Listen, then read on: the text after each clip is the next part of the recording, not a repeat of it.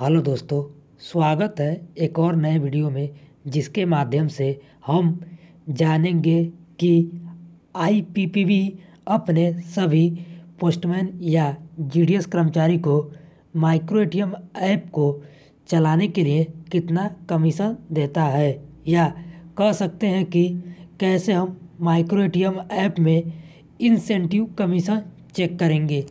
सो, start करते हैं इस वीडियो को। देखिए, पहले हम अपना माइक्रो एटीएम एप्लीकेशन को ओपन करेंगे। देखिए, यहाँ पर ओपन करने के लिए आपको यूज़र आईडी और पासवर्ड पता रहना चाहिए। तो हम अपना यूज़र आईडी और पासवर्ड यहाँ पर पुटअप करेंगे। नेक्स्ट हम डाउन साइड जो लॉगिन का ऑप्शन दिया हुआ है, उस पर हम क्लिक करेंगे। देखिए नेक्स्ट है terms and condition down side दिया हुआ है I agree with the terms and condition के आगे जो बाक्स है, उस पर हम टिक कर देंगे। देखिए, आपके माइक्रो एटीएम एप्लीकेशन का होम स्क्रीन ओपन हो गया। नेक्स्ट हम जो कॉर्नर में थ्री स्टेट लाइन दिया हुआ है, उस पर हम क्लिक करेंगे। देखिए, यहाँ पर दिया हुआ है एजेंट कमीशन तो हम एजेंट कमीशन वाले ऑप्शन पे क्लिक करेंगे।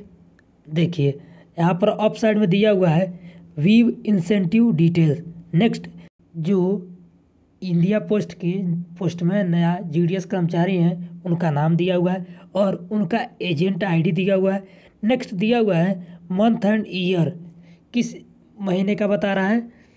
सितंबर महीने का और किस ईयर का बता रहा है? टू थाउज़ेंड ट्वेंटी वन और वहाँ पर दिया हुआ है इंसेंटिव ऑकर टिल डेट मतलब कि अभी तक ज़ीरो दिखा रहा है मतलब इस महीने का अभी फ़र्स्ट तारीख को चेक कर रहा है, इसलिए अभी ज़ीरो दिखा रहा है। लेकिन यहीं से इजली आप अपने माइक्रो एटीएम से अपना इंसेंटिव कमीशन चेक कर सकते हैं। देखिए माइक्रो एटीएम में अगर ए बोले तो आधार इनेबल्ड पेमेंट सिस्टम के माध्यम से किसी का अदर बैंक से पैसा निकालेंगे, तब आपको एक हज़ार रुपये पे पचहत्तर पैसे का कमीशन मिलेगा और आधार इनरोलमेंट करेंगे तो उसमें भी कुछ कमीशन मिलता है। और देखिए, अगर आप इंडिया पोस्ट का कोई कार्य करेंगे, जैसे कि आईपीपीबी में खाता खोलना है आईपीपीबी के अकाउंट से पैसा ट्रांसफ़र करना या फिर किसी के आईपीपीबी अकाउंट में पैसा जमा करना या निकासी करना, इसका कोई चार्ज आपको नहीं मिलेगा। नेक्स्ट जो भी यहाँ पर इंसेंटिव कमीशन होगा वह आपके हर मंथ के लास्ट में जब आपका सैलरी आएगा, उस समय आपके अकाउंट में आपका जो इंसेंटिव कमीशन है सेंड कर दिया जाएगा आईपीपीबी के माध्यम से। उम्मीद करता हूँ आपको ये वीडियो बहुत अच्छा लगा होगा। At last thanks for watching this video